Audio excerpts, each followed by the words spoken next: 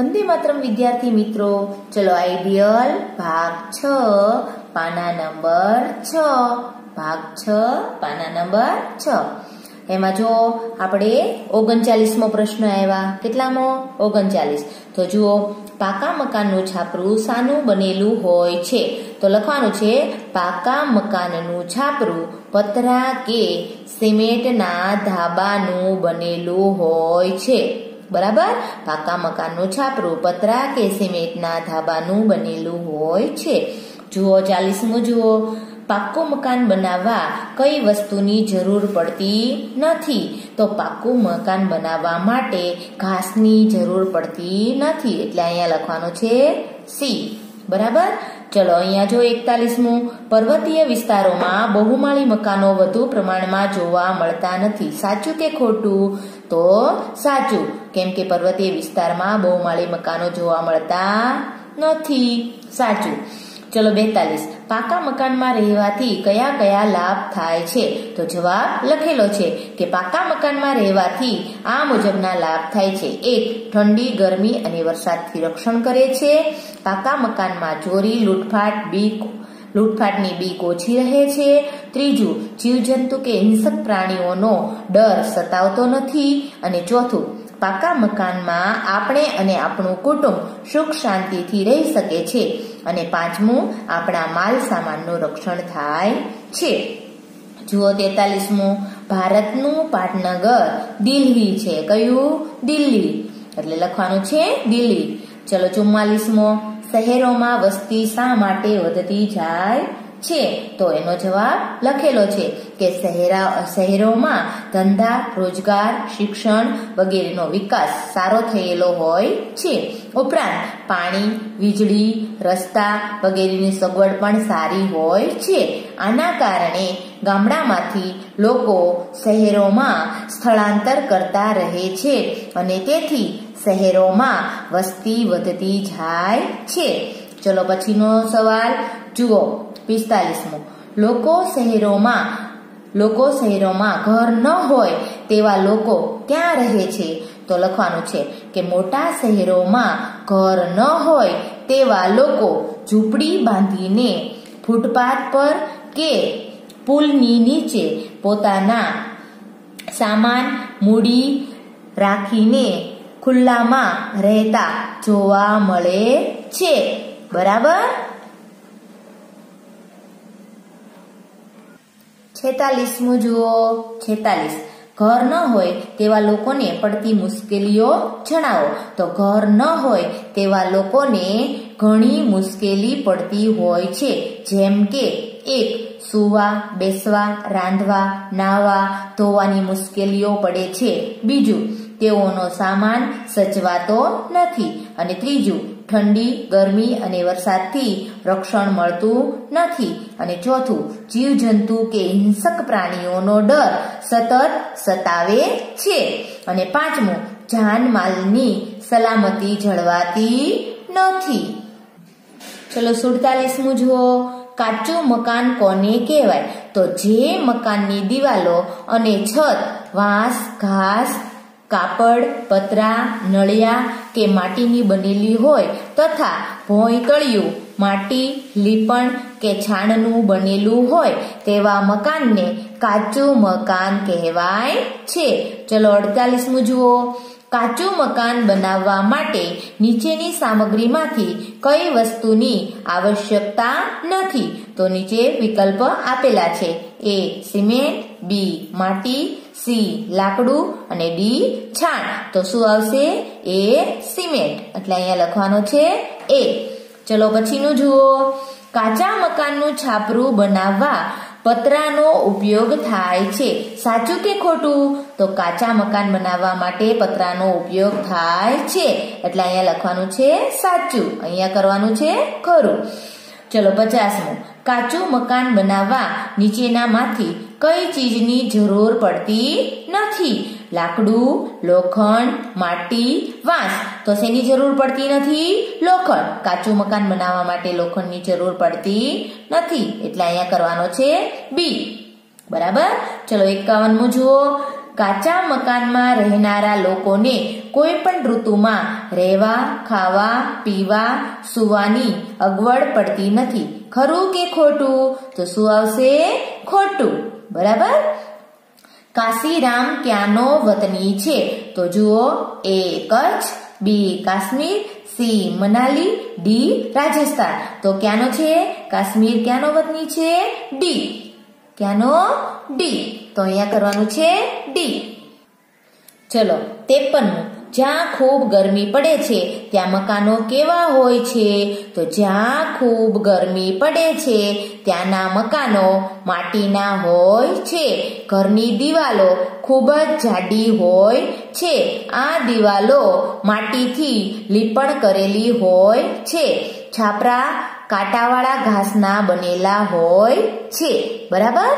ચલો હવે નીચે જુઓ ચોપનમું ગુજરાતના કયા વિસ્તારમાં ગરમી વધુ પડે છે? તો A Bhavnagar, B Dang, C Kutch અને ડી વલસાડ. તો ક્યાં? તો કચ્છ.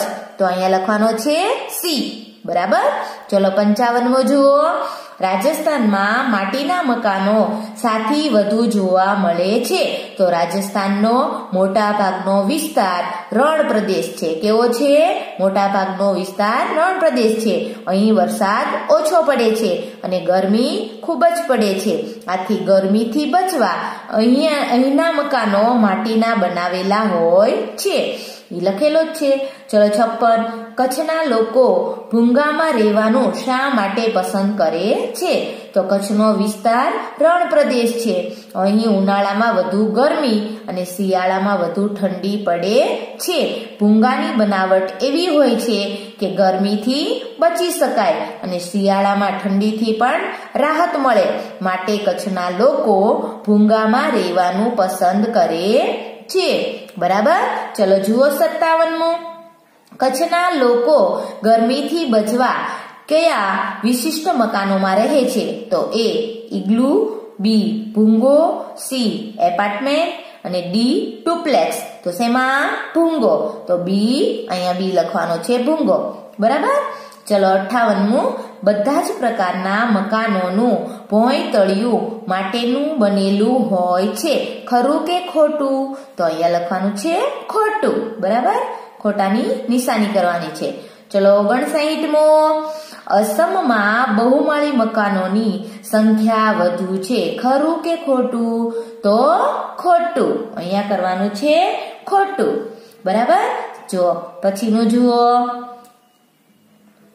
કાચા મકાનો મોટે ભાગે ખાલી જગ્યા વિસ્તારમાં જોવા મળે છે. તો કાચા મકાનો મોટે ભાગે ગ્રામ્ય વિસ્તારમાં. કયા? ગ્રામ્ય. તો અહીંયા લખવાનું છે, ગ્રામ્ય વિસ્તારમાં જોવા મળે છે. બરાબર? ચલો હવે એકસઠમો. ચલો એકસઠમો. કાચા મકાનોમાં રહેનારે શું શું ધ્યાન રાખવું પડે છે? તો કાચા મકાનોમાં રહેનારે આ બાબતોનું ધ્યાન રાખવું પડે છે. એક, તેમણે ગરમી, ઠંડી અને વરસાદમાં હંમેશા સાવધાન રહેવું પડે છે. અને બીજું, વધુ વરસાદ વખતે માટીની દિવાલ પડી જવાનો ભય રહે છે. અને ત્રીજું, જીવજંતુ કે હિંસક પશુઓનો ઘરમાં અંદર આવી જવાનો ભય રહે છે. અને ચોથું, ચોરી, લૂંટફાટ પણ સરળતાથી થવાનો ભય રહે છે. અને પાંચમું, વાવાઝોડામાં છાપરું ઉડી જવાનો ભય રહે છે. લખેલું જ છે. ચલો બાસઠમું જુઓ. શ્રીનગર ક્યાં આવેલું છે? તો જુઓ, A Punjab, B Rajasthan, C Kashmir અને ડી ઉત્તરાખંડ. તો આપણે અહીંયા લખવાનો છે સી. બરાબર?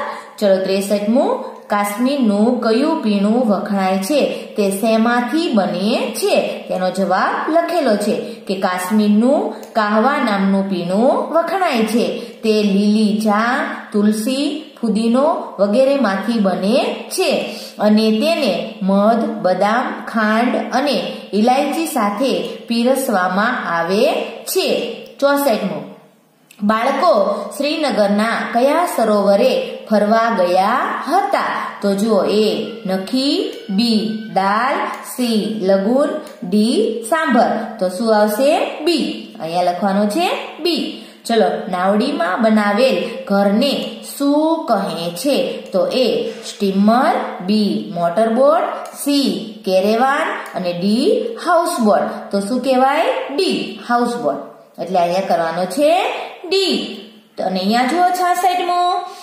હાઉસ બોટ, એટલે કે શિકારા, ખાલી જગ્યામાં જોવા મળે છે. તો હાઉસ બોટ કાશ્મીરમાં જોવા મળે છે. ક્યાં? તો અહીંયા લખવાનું છે કાશ્મીર. કાશ્મીર. બરાબર? હાઉસ બોટ કાશ્મીરમાં જોવા મળે છે. હવે નીચેનો જુઓ. હાઉસ બોટ શું કામમાં આવે છે? તેનો જવાબ લખવાનો છે કે કાશ્મીરમાં જોવા મળતી કાશ્મીરમાં જોવા મળતી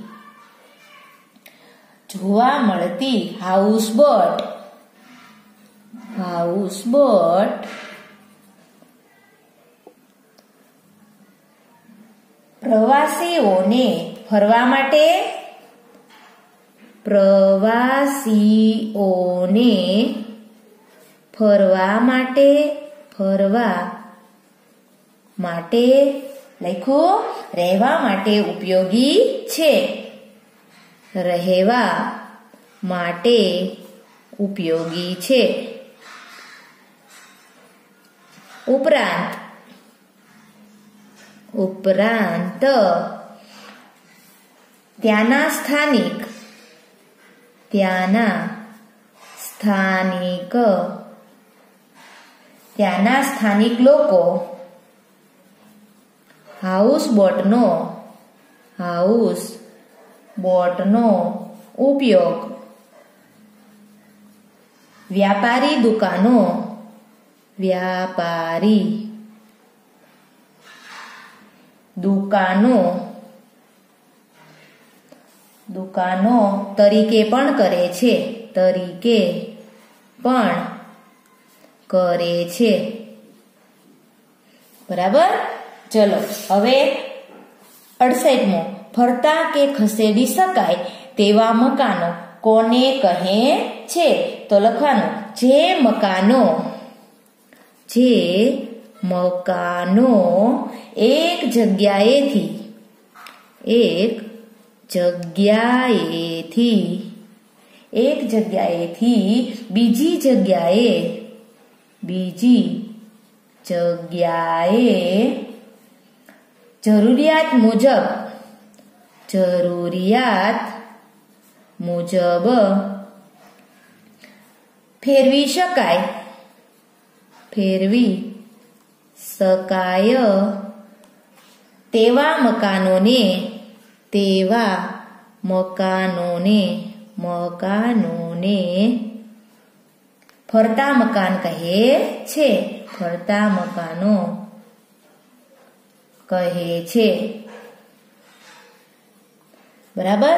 હવે ફરતા મકાનોના ઉદાહરણ આપો. તો આપણે અહીંયા લખવાનું છે હાઉસ બોટ હાઉસ બોટ, લખો, પછી કારવાન કારવાન, તંબુ, બરાબર?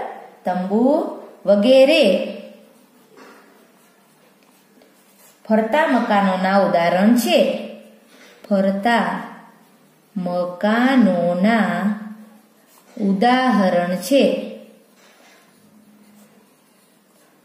બરાબર? ચલો હવે સિત્તેરમું જુઓ કે તંબુ બનાવવા માટે કઈ કઈ સાધન સામગ્રી વપરાય છે? તો લખવાનો તંબુ બનાવવા માટે તંબુ બનાવવા માટે લખું તંબુ બનાવવા માટે વાંસ વાંસ, પછી જાડું કાપડ, જાડું કાપડ, પછી જાડા દોરડા જાડા દોરડા, તથા ખીલ્લા ખિલ્લા વગેરે વપરાય છે. વગેરે વપરાય છે. બરાબર? ચલો, હવે એકોતેરમું જુઓ. શું છે? એસ્કીમો લોકો કેવા ઘરમાં રહે છે? તો લખવાનું છે, એસ્કીમો લોકો. એસ્કીમો લોકો બરફના ચોસલામાંથી બરફના ચોસલામાંથી ચોસલામાંથી ચોસલામાંથી બનાવેલા બનાવેલા ઈગ્લુમાં રહે છે. ઈગ્લુમાં રહે છે. બરાબર? ચલો, હવે અહીંયા જુઓ, બોતેરમું. ઈગ્લુ સાના બનેલા હોય છે. તો એ લાકડાના, બી વાસના, સી બરફના અને ડી સિમેન્ટના. તો શેના બનેલા હોય છે? બરફના. શેના બનેલા હોય છે? બરફના. અહીંયા લખવાનું છે સી. બરાબર? હવે તોતેરમું જુઓ નીચેનામાંથી કઈ વસ્તુ કાશ્મીરની નથી? તો એ પશ્મિના સાલ બી ઈગલું સી હાઉસબોટ અને ડી કાહવા. તો શું આવશે? બી ઈગલુ. શું આવશે? બી. બરાબર? ચુમ્મોતેર. જોડકા જોડો. તો પહેલું જો ઈગલું. શું છે? ઈગલું. તેમાં જવાબ આવશે બરફથી બને. શેમાંથી? બરફથી બને. એટલે અહીંયા કરીશું બી. કર્યો? ચલો બીજું. શું છે? ઝૂંપડી. તો ઝૂંપડીમાં આવશે કાચું મકાન. શું આવશે? કાચું મકાન. એટલે કરવાનો છે એ. પછી ત્રીજું જુઓ. તંબુ. તંબુમાં આવશે ડી. ફરતું મકાન. શું આવશે? ડી. બરાબર? ચલો, ચોથું. ભૂંગો. તો ભૂંગોમાં શું આવશે? સી, ગરમ પ્રદેશોમાં. શું આવશે? ગરમ પ્રદેશોમાં. ચલો, પાંચમું. ઘર જેવી હોડી. તો એમાં શું આવશે? સિકારા તો આપણે કરવાનો છે અહીંયા એફ. શું કરવાનો છે? એફ. ચલો, હવે બહુમાળી મકાન. એમાં આવશે ઉપર જવા લિફ્ટ હોય. એટલે અહીંયા કરવાનો છે ઈ. બરાબર? ચલો હવે ચર્ચા અને પ્રવૃત્તિ. એમાં જુઓ, તમારું ઘર જે વસ્તુથી બનેલું હોય તેની નીચે શું કરવાનું છે? ખરું, બરાબર? તો તમારું અત્યારે તમે ઘર રહેતા હોય તે ઘાસનું હોય નહીં, બરાબર? આમાં તો છાણ તો ઈ હોય નહીં, બરાબર? અહીંયા આવશે લાકડું. દેખાય છે લાકડું. ચલો, લાકડાનો ઉપયોગ થાય તો આપણે અહીંયા કરીશું ખરું, બરાબર?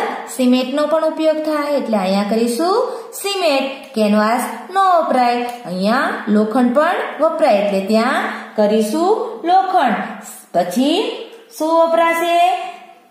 ચૂનાના પથ્થર. વાંસ નહીં. અહીંયા શું કરીશું? ઈંટો. ઈંટોમાં પણ ખરું. અહીંયા કાચ અને અહીંયા પથ્થર. ચલો, આ બધાનો એમાં ઉપયોગ થાય છે. ચલો, આજે આપણે આસપાસનો પીરિયડ પૂર્ણ કરીએ છીએ. જય શ્રી કૃષ્ણ. વંદે માતરમ.